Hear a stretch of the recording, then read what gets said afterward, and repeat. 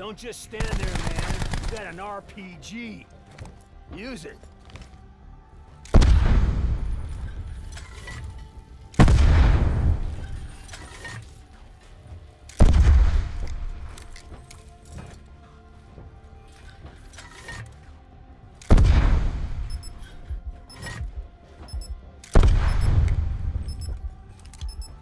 Come on, Pumpkin, just fire the weapon.